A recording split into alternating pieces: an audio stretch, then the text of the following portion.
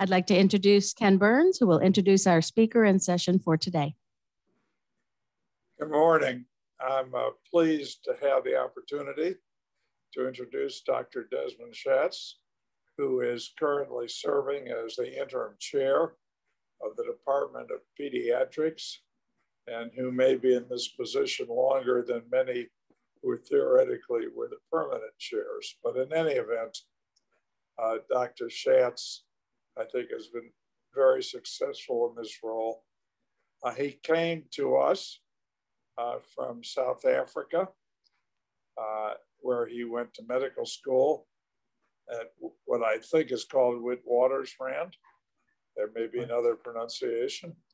But after medical school, he came to the University of Florida where he did a residency in uh, pediatrics and he enjoyed it so much that he has just stayed here. Uh, over the years, he has become a preeminent pediatric endocrinologist uh, with a uh, research interest in uh, type 1 diabetes. Uh, he's uh, been well funded for this research, both from private foundations and from the uh, from the NIH, and he uh, actually right now is participating in an international uh, uh project. Uh, so I think that his renown in this area is quite significant um, to the extent that he had served as the uh, president for science of the leading uh, patient advocacy organization, the American Diabetes Association, and that's an extremely uh, high honor. And, uh, so uh, he's a really great representative of the University of Florida. Uh, I don't know if he ever became a US citizen, but I have to assume that he did eventually. Uh, in any event, he's here with us today. Before I do more damage to his reputation, uh, let me introduce Dr. Des? Well, thank you uh, very much, uh, Ken. It's really a pleasure, frankly, to, to be here. And um, well, very good. Well, uh, thank you very much again, Ken. Yes, I'm a US citizen. Um, and um, Izzy Shiva may have some uh, concerns with that, but be that as it may, I would thought that I would present um, a talk today um, as a debate, as really a debate with myself and really um, a debate with you. And um, this could be conversational. Um, um, it's feel free to interrupt me at any times. Um, I think we have um, about an hour or so. Um, I wish I was present uh, with you all. Um, I certainly recognize, you know, so many of you, uh, Izzy, Roy, David, Ken, Jeff, uh, Cindy, so many people I do know. So Again, um, the title of my talk is Should we be screening for type 1 diabetes and is it time to reevaluate our recommendations? And this is 2021. I just thought I would simply remind all of you that not all of diabetes is the same and that there is a very big difference between type 1 and type 2 diabetes. People put these together in a bucket, and that is absolutely wrong. They're very different diseases. And I'm going to say to you, what I'm going to focus on today is type 1 diabetes, not type 2 diabetes, which is so much more prevalent. 90% of all diabetes is type 2 diabetes, but about 10% is type 1. And um, the usual clinical course of insulin dependent diabetes is, is always insulin. There's an absolute lack of insulin. In type 2 diabetes, um, through a combination of insulin resistance and um, you know, insulin failure.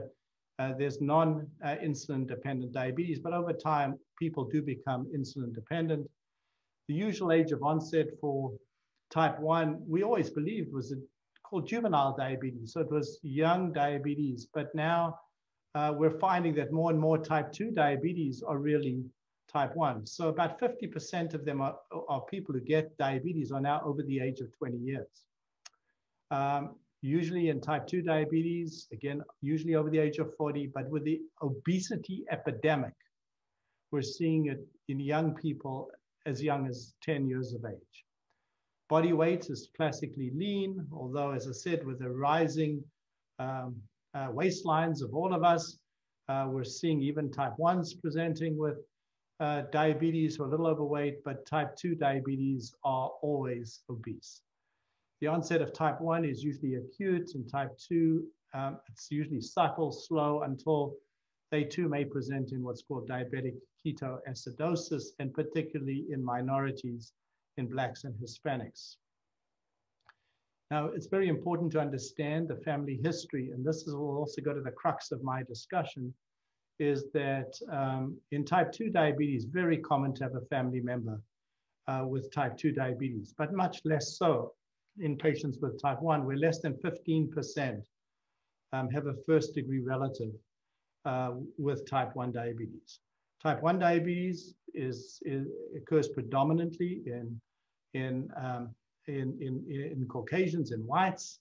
Uh, so, and uh, type 2 diabetes is more common in minorities, blacks and Hispanics. And that's where the incidence and therefore the prevalence is increasing significantly.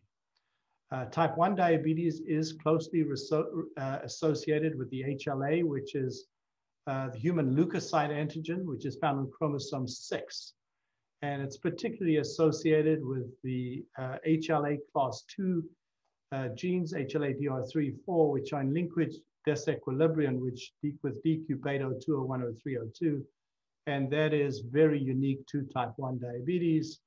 And uh, because type 1 diabetes is an autoimmune disease, you find the presence of islet autoantibodies, which I've listed. These are islet cell antibodies, antibodies to glutamic acid decarboxylase, IA2 antibodies, antibodies to insulin, antibodies to the zinc transporter 8. So we always found that, that, that, that, they were never present in type 2, but now we find that 5 to 10% of type 2s actually have it. And it brings up the debate all along is that are these type 2s really slower, slowly progressive type 1s?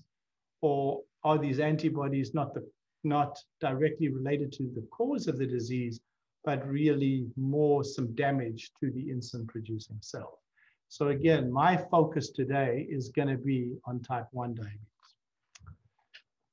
Now, about four plus years ago, I gave my presidential address to several thousand people at the American Diabetes Association, in which I said that we've had considerable successes but we've also had failures, which is the nature of science. And I will sort of go through them in a bit to sort of introduce um, my talk for today, which is our successes are that we do know through the diabetes control and complications trial that if you have diabetes, that tight control does reduce complications. And that that signaled when, when I first started, and some of you may know Arlan Rosenbloom who was really the founder of the department. In, in the early 90s, he didn't believe that, that tight control made a difference. It was just a matter of insulin. Well, in 1993, that changed everything. And tight control and uh, an era of intensive management, technological advances, and what we call hybrid closed loop artificial pancreas systems really make a difference and can and can certainly uh, reduce complications and improve the quality of life. But again, remember, and this was the title of a conference that I put on several years ago, that insulin is not a cure. What else have we learned? That better understanding of the beta cells, those are the, the, the cells that make insulin, um, the biology leading to replacement of the beta cell function, and this sets a stage for a cure. But again, there is no cure just yet. And again, and finally, and a lot of the work has been done here at the University of Florida, initially started by Noel Maclaren, and then continued by myself and Mark Atkinson and, and others, that type 1 diabetes is now a readily predictable immune mediated disease, which sets the stage for prevention. But there is no prevention. But in order to get people that we can prevent, we may need to be screening, screening for this disease. So I want to say what the current American Diabetes Association recommendations are. And this was something that I had written before is that screening for type 1 diabetes in asymptomatic children with a panel of autoantibodies is currently recommended, but only in the context of research. In the, in the context of research in relatives of patients with type 1 diabetes and that widespread testing of asymptomatic low risk individuals is not currently recommended as part of public health screening due to a lack of a therapeutic intervention. If I said to you now that we could prevent the disease, there'd be no question in my mind we should be screening. But what, what brings me uh, to the current ADA recommendations? So let's perhaps take a step and ask the question, why are we currently screening for type 1 diabetes in 2021? Well, the, the protagonists of this argument would say that it's an early diagnosis. And it's, it's true that if you make an early diagnosis, we can decrease morbidity and mortality. That's short term, we can hypoglycemia, seizures, diabetic ketoacidosis, and mortality. Um, the lifespan of a person with type 1 is the same as somebody who doesn't have uh, type 1 diabetes. That's an incredible data uh, announcement from um, the group up in Pittsburgh. Really fabulous uh, data as long as you take care of yourself. But also, um, we've learned a lot about the natural history of pre-type 1 diabetes so as to gain uh, an, an understanding of it to gain further insight into the etiology and what causes the disease, although we don't have a cause just now. And whoever does find the cause or the mechanisms leading to type 1 diabetes will surely win a Nobel Prize. But also to identify individuals for prevention trials, because again, without prevention, there will never be a cure. Now, let's get to the to, to, to, to, to the crux of the matter too is are we ready for public health screening? Now, what is what is the goal of public health screening? It's the early identification of a burdensome disease with the long-term goal of reducing the incidence and mortality and improving health outcomes for that disease in the asymptomatic population being screened. But again, there are certain criteria that need to be met for public health screening programs. Now, these are well set. These have been adopted in a, you know, this is what the science tells us. I mean, there are clearly people right now who want to ignore the science in so many areas. But from my perspective, these are the criteria. We have not yet met all the criteria for a public health screening program. So firstly, the disease. Inherent in that definition is an important health problem. Is type 1 diabetes an important health problem? Absolutely. It's about one in one in 250 to 300 in the United States, and um, much much higher in Finland, as I'm going to show you some of those data uh, uh, soon. So recognizable early stage of the condition, absolutely. We can uh, detect the disease many years before the onset of the disease. Do we have valid, reliable, and afforded affordable tests now for identifying those that we're going to deem eligible for an intervention. So part of every fellow's training is to learn about sensitivity, specificity, uh, positive predictive value, indeed negative predictive value, as well as false positives, which I'm going to sort of argue with you later on during this talk. And then the diagnosis and the treatment. Understand that any treatment, we follow the principle primum non nocere. We, we certainly know we certainly can't hurt any patient you know, at the expense of a therapy. So the benefits outweigh the potential for harm.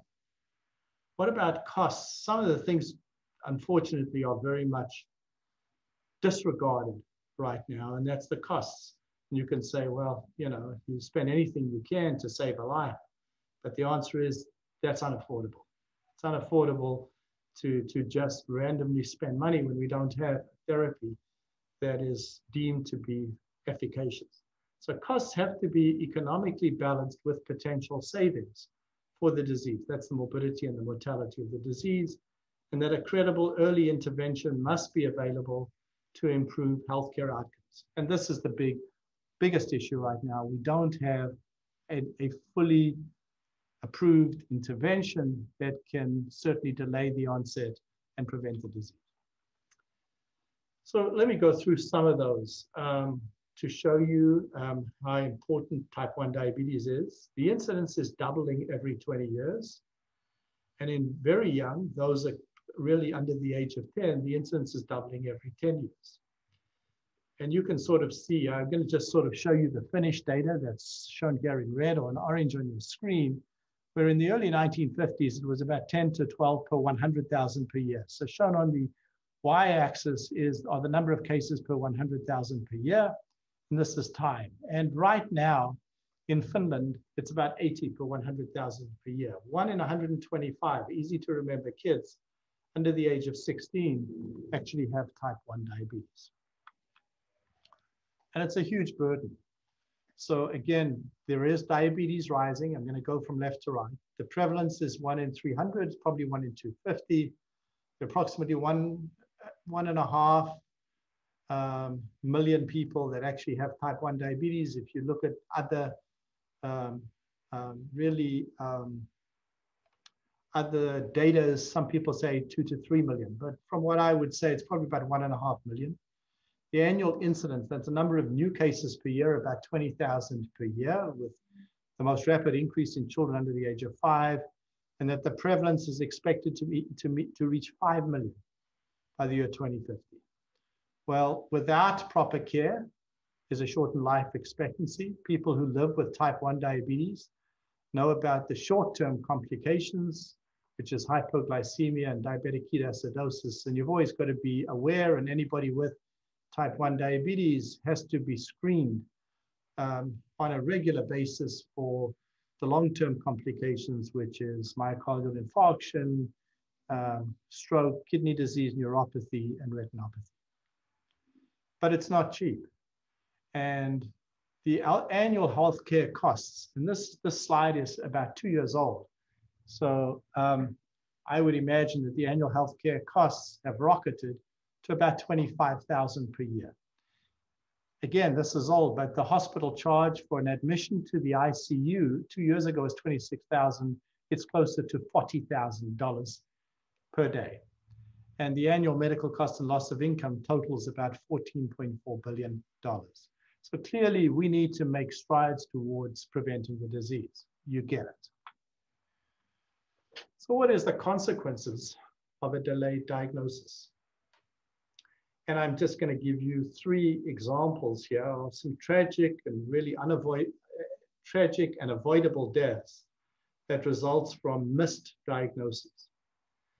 Um, days after celebrating his first birthday, these are the headlines in one of the Tennessee newspapers. Um, and by the way, these are all quotes from newspapers. A boy dies after being misdiagnosed with a virus. This was an 11 year old uh, child whose mother said, You know, I was planning a, a vacation. Um, mom said she was planning a vacation for the family. Instead, she ended up planning a funeral. Um, and another 11 year, year old di was diagnosed with type 1 diabetes too late, um, ignored the symptoms, classical symptoms of diabetes, and died suddenly over the weeks. And a 25 year old doctoral candidate passed away suddenly from complications due to undiagnosed type 1 diabetes. And th these are not anomalies. We see two year olds, um, we'd actually through a research study we had done, we had saved a child's life. This is a true story. We had screened uh, as part of our what's called PANDA studies. We had screened um, a baby, this is several years ago, with, with for, for genes for risk for diabetes. We told the mother that their child was at risk, had the high risk genes. The mother said, There's no one in our family. You know, we're going to ignore it completely. Um, you know, um, thank you for letting us know. We're glad we participated. At about the age of two, she suddenly realized that her baby was wetting diapers incredibly. The, the diapers were saturated. They were always wet.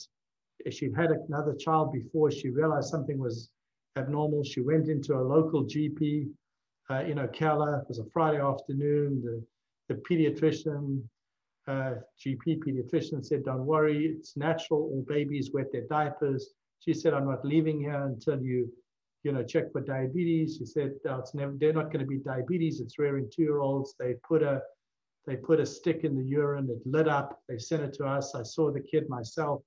A couple of hours later, cut a long story short, uh, the baby was put in the ICU. The blood sugar was 1450 and was in ketoacidosis. Had she not gone in and insisted that they do this test, this child too would would not have made it. So clearly, in that particular child was lucky to be part of a research study. Diabetic ketoacidosis is increasing, and you would have thought that by now, with, with better testing uh, uh, um, modalities, we would have seen a decrease, but this is not happening. In 2002, the SEARCH, which is an NIH uh, epidemiological study, found that about 20 to 25% of patients actually had DKA, that's diabetic ketoacidosis, which does have a 1 to 2% mortality, uh, but now it's about 50%. Um, and it's, it's, it's, it's despite uh, you know, people being more aware of the disease, the, the, the incidence of diabetic ketoacidosis is in fact going up. So I, have explained to you about um, the diagnosis and the necessity uh, for, for instituting a screening test to make it much earlier. So the, then the next question is, well, what have we learned? What have we learned about the natural history of type 1 diabetes? And this really, this slide perhaps sums up really um, my lifetime body of work in trying to understand the natural history of the disease, really beginning in the early 80s with Noel Maclaren, and then, you know, really understanding uh, about the natural history disease. Now, on the y-axis is the beta cell function, and on the x-axis is time. And we do know, as I've said to you before in my introduction, that there is a genetic predisposition. And the genetic predisposition is, is, is largely uh, controlled by the HLA region on chromosome 6. That's the HLA uh, class 2 alleles, DR3 and DR4. So there's a genetic predisposition. I put the word here, a putative environmental trigger, but I will say to you, we have not yet found what that environmental trigger is. We embarked on a 15 year, what's called TEDDY, the environmental determinants of diabetes in youth, type 1 study, uh, which has been conducted here at the University of Florida, together with two or three other sites in the United States, in Colorado, as well as Washington State, plus three other countries, uh, Germany, um, Sweden, and Finland, to identify this trigger, which we have not yet found. And then what, what we do know that afterwards there was time that through beta cell injury for research we've done in the National Pancreatic Organ Donor Program, that you can detect um, um, injury to those cells that make insulin. Those are um, insulin producing cells. Those, those little things in the black are T cells. Those are CD3 positive T cells. So there is an inflammatory process that's occurring within those beta cells with time, as those beta cells are killed, you get a loss of first phase insulin secretion that proceeds to glucose intolerance, which we can pick up, on an oral glucose tolerance test, and then we have clinical diabetes. So we've learned a lot about you know, this disease. We do know that if you have these high-risk HLA genes, uh, and you, you can look for them at birth, and you've got the very, very high-risk genes, that's HLA DR34, that confers a 50% risk, and that um, but there are another 40 non-HLA genes. So, you know, you ask, are genes necessary? Um, probably. Are they sufficient? No. Are they neither necessary nor sufficient? That's an argument. That's another part of the debate. But what we do know is that you can certainly detect antibodies. That's, if you will, the smoke of the fire in the peripheral blood. And there are several of these antibodies, as I said, islet cell antibodies, insulin autoantibodies, antibodies to glutamic acid decarboxylase, um, antibodies to the um, antigen ICA512, and um, antibodies to ZNT8 uh, antigens. So we can detect those in the blood. And again, whether they're the smoke of the fire, whether they're epiphenomena, whether they're involved in the actual process leading to type 1 diabetes, we don't know because we still don't know what causes type 1 diabetes. And the subject of another talk that I may give would be, is this a suicide or indeed a homicide of the beta cell, those cells that make insulin? But what this slide has done is to enable us to set the stage for the early detection of type 1 diabetes. And it's a busy slide, so I am going to walk you through it. Now, you'd have to really understand the previous slide to understand it. There is a genetic risk. And we do know that if you have a relative with type 1 diabetes, you have a 15 times greater risk of developing type 1 diabetes. Well, if you followed them and you said, okay, we were going to prevent the disease in those patients, well, you could probably do it by two ways. One is you could vaccinate. Wouldn't it be nice if we had a vaccine against type 1 diabetes? You take a vaccine and you know you're going to be prevented. Well, that's a possibility. Or else, if we knew what the incriminating agent was, people have said it's breastfeeding, it's a lack of breastfeeding, it's too early introduction of cow's milk, it's not too early introduction of cow's milk, it's a different virus. It, we've been searching. I can give you a whole huge list, but we're not going to find it. But wouldn't we be able to institute a primary prevention? I think everybody gets it. That's the ideal. But really, we don't know the incriminating agent and we can't, we don't have a vaccine. So then we get into the fact is, could we stop the immune attack when the disease process is already underway. And so we can stage the disease and we can stage the disease from the knowledge of the natural history of the disease into three stages. And these are stage one, stage two, and stage three. And that gets into what we call secondary prevention, which is preventing the disease from going from um, what I would say is pre-diabetes to diabetes, and then a tertiary prevention would be you already have the, the onset of clinical symptoms and then preventing further progression uh, of the disease. So what is stage one? It's really normal blood sugar with two antibodies, two of those five that I've mentioned. Stage two, it's further down the uh, slide, if you will, and you get an abnormal blood sugar with two antibodies.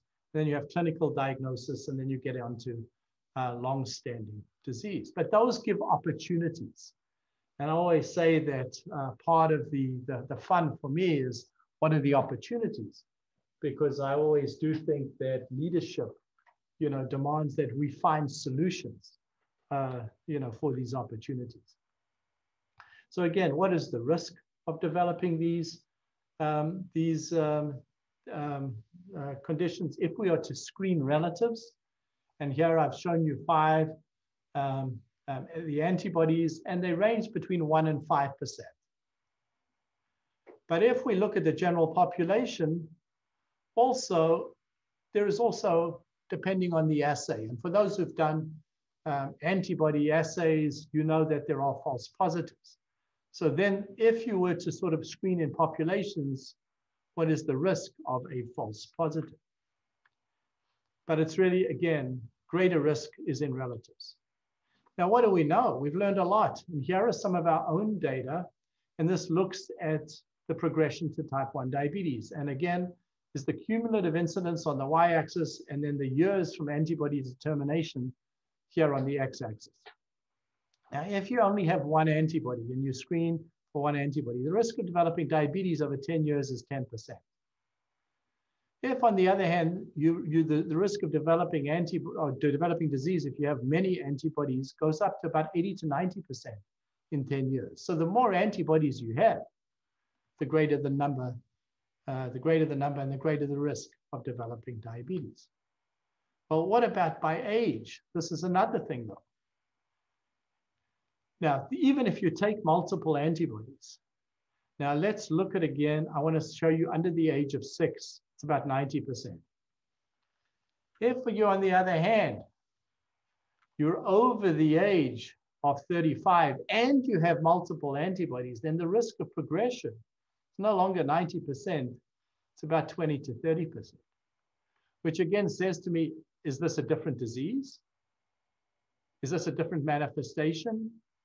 You know, is this a different endotype? And you'll probably be hearing the word endotype more uh, in other conversations as, as we learn towards precision medicine, as we move towards finding a specific therapy that's going to intervene in a specific case.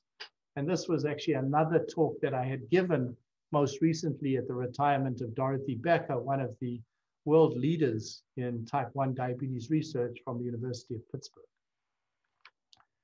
We can also go and refine, uh, perhaps I'll skip over this very briefly, but we can define the risk very good by looking at not only number of antibodies and age, but by also looking at the amount of insulin as evidenced by C-peptide, glucose, and body mass index. So if you have a very low, what's called a DPT risk score, it's very low, but we can really refine it to about 90 to 95%, taking in all these other factors. So again, what has been, you know, where have we been going with, with risk? And as I've said to you, our focus has been on relatives because relatives, if, if the risk in the general population is one in 300, in, in relatives, it's 15 fold uh, increase. That's one in 20. So one in 20, if you think of bang for your buck, you could sort of think about doing research in relatives, first and second degree relatives. The problem with that is you're not going to pick up too many people. And if you don't pick up too many people, you're not going to have enough power. And the word power is used in the sense of, of, a, of, a, of a statistic. Uh, because this will only be 10 to 15% of all cases. In the general population, it's one in 300, which is 85 to 90% of all cases, which says, really, if you want to make a dent in this, you've got to be screening the general population. Well, let's look at the absolute risk of genetic susceptibility and going back to what I've just told you. In the general population, remember it's one in 300. If you're a twin, and you're a monozygotic twin, the risk is 30 to 50%. And if you follow them long enough, it exceeds 50%. This is 10 years. Dizygotic twin, 5 to 10%. The sibling of a, of a person with type 1 diabetes, 5%. The offspring of an affected father is increased compared to that of an affected mother. And there's a whole lot of discussion we could have about why the risk, which is 1 in 12, an affected father, is, is, is higher than that of an affected mother And then in parents, it's one in, it's about one in 33%. So if you sort of think about 0.3% versus screening in relatives, which is so much higher, 15 fold, it is very clear to me from a cost effective basis why our research has focused on relatives. Again, just what is the absolute risk? I can say to you that if we do HLA typing, uh, according to, to, to, to HLA DR risk, all I want to show you is that if you look at the very high risk, the HLA-DR3, 4, in linkage disequilibrium with DQ beta 0201 or 0302, that risk in a first degree relative goes up to one in four, right? A, a monozygotic twin, one in two, but if you have these HLA risk alleles, it's one in four. So you could perhaps put these people into a study, as well as the general population, if you were to screen is one in 15, Versus if you did the whole population, you didn't do HLA screening, that risk would be one in 15,000. So you clearly need to stratify. You clearly, you know, a one shoe fits all doesn't go unless you're really getting into the genes and unless you're getting into the autoimmune markers. But we did show, and these were um, data that, that I published much earlier in my career, uh, in which we asked the question, is the risk of developing diabetes in relatives and school children once you have antibodies the same? And the answer to that is yes. So what are the screening approaches? So in 2019, and this hasn't changed as of now, we said a stepwise approach should be. A test should be simple, it should be inexpensive, and it should be sensitive. And as I've said to you, it needs to have high sensitivity and specificity to reduce the false positives and have a high positive predictive value. And there are two ways to do this with primary genetic screening, which I've gone, or primary autoantibody screening. So the genetic screening um, you, you do primary in a population and then you test antibodies in those at risk.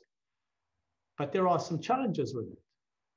With primary autoantibody screening, you, you test a very at-risk population and you look particularly for these uh, immune markers. So what is the advantages of population genetic screening? It's one test initially, could be done at birth. You could use dried blood spots or cord blood. And then you follow up the antibodies uh, for, for those um, who are at risk. And that would be for 5% and would detect 60 to 80% of those at risk. Screening would be cheaper, approximately one third the cost. We could study etiology, the mechanism, the prospects of primary prevention. But the biggest problem with all that is that there are huge problems related to the number of people who you're going to falsely identify as positive. Well, there are a number of programs now going on around the world, uh, both within the United States um, as well as in Germany and Scandinavia, that are actually doing type 1 screening, and some are doing HLA, and some are doing autoantibodies. And these are, you know, all at risk. Um, uh, these are all studies that are occurring, you know, around the world. So how effective have they been? Well, in terms of preventing diabetes, we haven't shown that that's the case as yet. But what TEDDY has shown is that if you indeed screen uh, for, for type 1 diabetes, clearly we've shown that um, there is reduced diabetic ketoacidosis in young children. And I want to show you at least four registries. And I so showed to you earlier on that, that DKA occurs between 39 to 54% of new onset cases um, around the world. But with TEDDY and with uh, screening for these high risk HLA genes at birth, this has been reduced to 16%. So clearly, TEDDY reduces DKA risk. If you look at those under the age of five, um, really compared to all registries, uh, it's decreased, perhaps not as much as in Sweden as in Finland, but definitely reduces the risk of DKA in very young kids. But what about um, what about um, its impact post-diagnosis. And these are data from Andrea Steck that were presented, and she's shown that there is better insulin secretion, hemoglobin A1C, and decreased insulin doses in the first year uh, post-diagnosis. And if that is the case, and if that's sustained, that's going to lead to a decrease in complications down the road. But again, what we don't know again, and this is it, is that will this earlier diagnosis and onset of insulin replacement lead to greater preserved beta cell mass over time and therefore decreased risk of hypoglycemia and long-term complications? And I would say to you, perhaps there is some evidence that this may be the case, but there are challenges towards population screening. And I'm going to try and present the other um, end of the debate or this argument with myself. What about the costs of screening? How good are we at predicting this disease? Because the disease is clearly heterogeneous. I've already told you that the disease in a young child is very different from that in an older individual. And what are the negative consequences of screening? So what I want to try and do is to, again, balance the positives that I've shown you. It makes all the sense in the world to do it versus some of the challenges of screening. So let's look at the 10-year uh, costs of screening. And um, this is per child, right? Think of hundreds of thousands that would be screened. This was the Turku cost analysis screening, is that for genetic screening and ICA follow-up of an at-risk ch child, just that would be the target approach, it is about $245 per person. If we look at repeated ICA, repeated antibody screening of entire populations, let's say at the ages of three and then at the age of seven, because there is some um, switch that occurs over time, it's about $750. And that's for one person. And if we were to screen to reduce DKA, a break-even point would be a dollar per screening test, and a break-even point should be 0.03 per antibody testing. So to get down for 733 to, to 0.03 is huge. And remember, it's not just the, the cost of the testing, it's hiring people to follow up, to pay for labor, to counsel, to understand, to speak to people, what is their risk, and then assuming that people, you know, would be interested and willing to participate. You know, we are getting into an era of whole genome sequencing where we will be able to know about many diseases over time, whether we want to know about it or whether the whether we actually have the resources to do it is going to be a challenge, certainly over the next few years. Now, I want you to sort of understand, and this is really only for the perhaps biostatisticians, but it is something that I teach my fellows is, is to really understand Bayes' theorem. And you need to understand the, the equation for understanding positive predictive value, which is the, which does take into account the sensitivity and the prevalence of a disease. And it's really important because a very small false positive rate. Now, can you imagine me telling you that your child is at risk for developing type 1 diabetes when in fact it's a false positive, right? The problem is, is that the positive predictive value declines with the low prevalence of the disease and when a disease prevalence is low, so when I say low, I mean it's it's still you know the incidence is one in 300. The specificity becomes more difficult, more more difficult. So it's, so we do need to understand that it's different if it was happening all the time, um, and so, something certainly now with a very high uh, prevalence um, such as COVID, it really doesn't matter as much because you know there, there there may be some false positives, but it's it's to me that's that's perfectly acceptable you know, because of the high prevalence of the disease. So think about what this high positive rate does. It has an impact on families and, and young parents, particularly. I say older parents too, and grandparents um, are vulnerable, right? You, you, you're sort of being told that your child's going to get a disease and this may not be right. Well, in fact, it may be right, but you don't even want to know about the disease. And then what impact is that going to have on the healthcare system?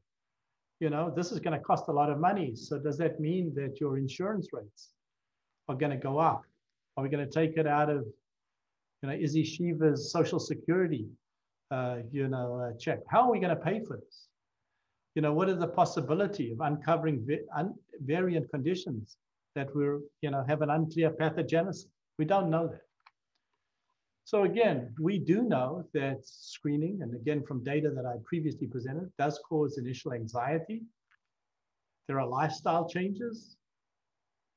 Do people really understand risk when so much else is going on in their life? We're going to expose kids to repeated blood draws, inconvenient travel expenses. How accurate is this prediction? And really, we don't have a prevention or cure. So by now I'm sort of saying to you, you know, maybe it's not such a good idea after all. And why do I also say this? I had shown you a slide in which I was pretty confident, in which I'd shown you that we've learned a lot about the natural history of the disease. But again, let me say to you that not all type 1 diabetes is the same. And maybe some people will get autoantibodies and never get onto the disease. Maybe some people will get autoantibodies, show a de decrement, and then never get onto the disease, particularly if you're older people. But again, if you're screening for younger people, it's a lot more predictable. So it is a relapsing remitting disease, just like every other autoimmune disease, just like lupus, just like multiple sclerosis. It's a relapsing remitting autoimmune disease. Rheumatoid arthritis is another. And so if you were to screen, where would you fit in it? And if you're not going to get the disease, where would the therapy you know, fit in? Negative consequences. And I, I will simply quote um, uh, from parents, because I think we really need to be increasingly aware of the complexities of testing and to communicate this sensitivity to our patients. I think this is even more so now with you know, where we are, particularly with genetic testing, with uh, testing overall, I mean, even some of this applies to, to, to some of the testing and some of the um, crazy stuff that's, that's gone around COVID. But um, I'll, I'll quote um, from a from a from a father. It was scary when I found out my daughter was fine. I felt like we'd gone through a lot for nothing. False positive test. I was upset that the physicians were elusive, elusive about why my child had to repeat, return for a complete test. We were told that no news is good news. They never called back with the results. Pediatrician said a blood test was needed, but she herself didn't know what it was for. I mean, this would take a whole education. I live this, you know, every day, so I could counsel you on this, but not everybody can. So going back to the debate, and if no preventative therapy currently exists, then why screen? So I'm to show you the case for is that there is significantly reduced diabetic ketoacidosis in these antibody positive individuals who've been identified through genetic screening. Prevention trials are promising. We can't prevent it. And, you know, there's one newer study that shows a delay of the disease. But again, we can't cure it yet. Uh, we are moving the field forward through better understanding of disease progression and a general population screen would be a change in public health paradigm for type 1 diabetes. We're screening for, in the state of Florida, for almost 50 newborn screening diseases. And wouldn't it not be if we could get type 1 diabetes to be number 51 or number 52? But again, we need to change the cost benefit. And um, we're asking um, some of the studies um, and one of the studies, the ASK study in Colorado, is analyzing cost and cost effectiveness to study the appropriate ages to screen and psychosocial impact. There is a health economics proposal in Sweden, and we're also just looking at the effectiveness of screening and intervention would decrease incidence of diabetic ketoacidosis. I will say to you that the cost of actually doing the tests is going down because of technological innovations. We've got newer antibody assays and also whole genome sequencing. And again, you know, I would controversially say that my vision for the future would be whole genome sequencing at birth and then knowing what that is and then following a patient. If you do that, that's your patient for life. So again, you know, where are we? Um, the requirements for public health screening. Yes, um, it's of cost benefit to the individual and society. Clearly, type 1 diabetes fits that paradigm. Can the disease be detected early enough to intervene? Yes. Do we have good methods for identifying those eligible for intervention? Sensitivity, specificity, positive predictive value, false positive rate? Yes. The problem is, is that we don't have a credible intervention yet to prevent the disease. So the conclusion, which I wrote initially, hasn't changed. That screening should be performed in the context of defined research questions. And I would posit that wide-scale public health screening should be begun as soon as cost-benefit changes or an intervention is shown to be safe and efficacious in slowing progression. So even if we could prevent DK and it costs next to nothing to doing it, we should uh, be able to, to set up whole scale, you know, whole-scale public health screening. So with that, I just want to acknowledge my colleagues, the funding sources, you know, that, that, that I've had, that we've had over the years. But most of all, I'm indebted to you, the patients who have participated uh, so actively, you know, in this research, because without really all, each and every person, each and every member of the team we wouldn't have gotten to the point of having this debate. And the good thing about this debate is if you debate uh, for and against, you get to win a debate. So I will just, again, thank you all for your attention. Uh, I'm very happy during the next few minutes to answer any questions that you may have. So thank you very much uh, for inviting me. I want to thank uh, Pushpa Kalra. I want to thank Ken Berns. And most of all, I want to thank all of you who've given up an hour of your day uh, to spend time with me, albeit on Zoom. And I wish it was in person, and hopefully that can be done again in the not too distant future. So thank you very much.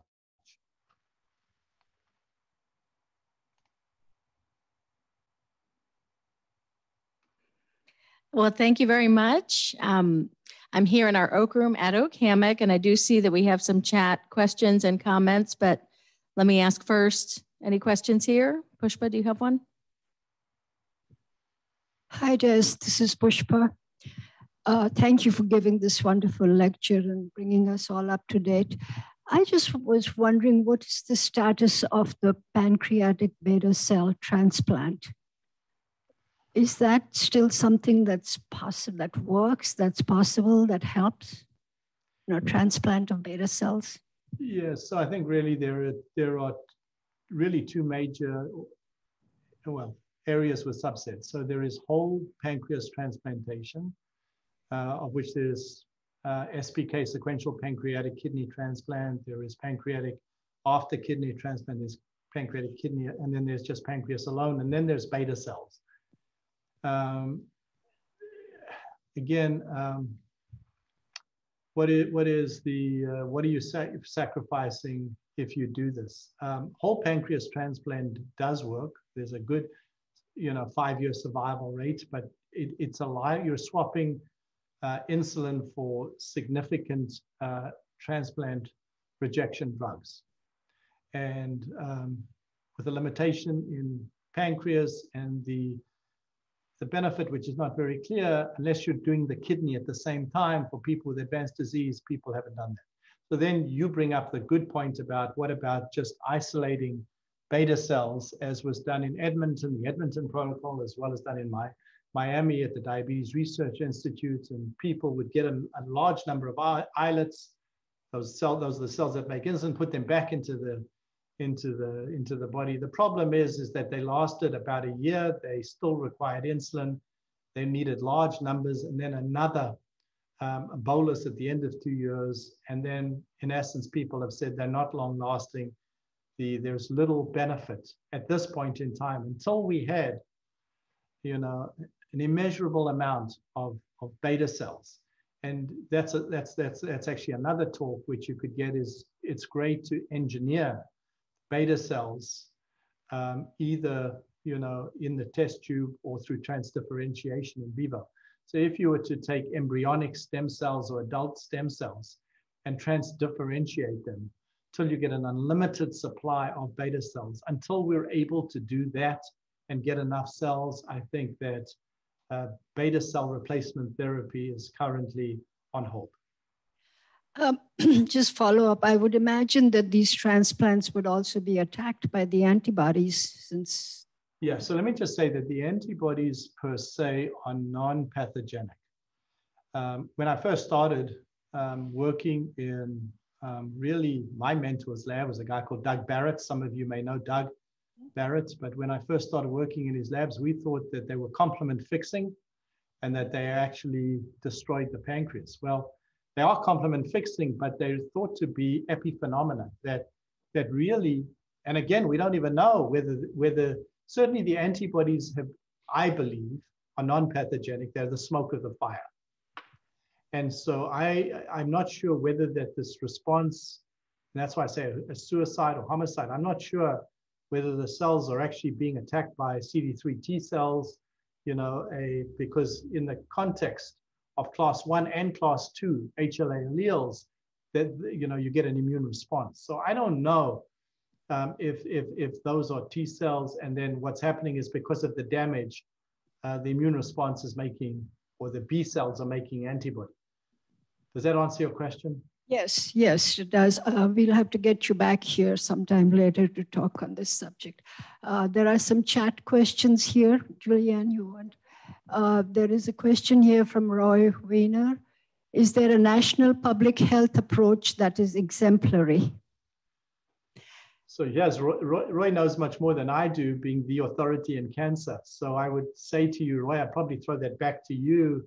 You know, it's like public health screening for cancer. Is there an exemplary approach, you know, towards precision medicine? I, I don't think so. Um, that would just be my, um, my answer. Um, you know, I, I, I, follow some of the stuff that's happening in Europe. There are some countries ahead of the others, but I don't, I don't think that there's a single uh, national public health approach that is exemplary. I could probably, after I answer your next question, I'll throw it back to you because maybe you could answer that better than me. Why only 50% in monozygotic twins? And the answer is, is that it's, I said that genes are, are, are, are maybe necessary and not sufficient.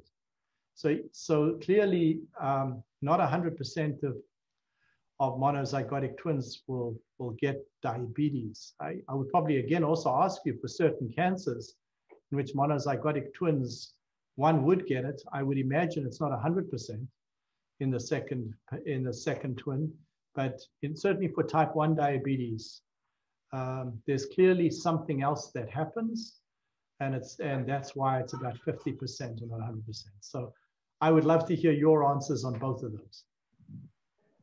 Roy, do you want to respond? Please. It makes it makes makes me think that there is a multi-gene etiology.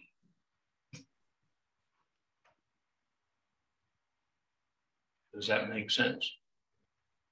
Yeah, well, it's as I said, no matter, and as, as I said, HLA contributes 50% uh, towards susceptibility. There are another 40 uh, other genes, but it's not all genes. So you can even get type 1 diabetes in people who do not have the very high risk genes. So, and we're seeing more and more of it, which suggests because of the epidemic of type 1 diabetes, that again, genes are, are not sufficient to develop the disease.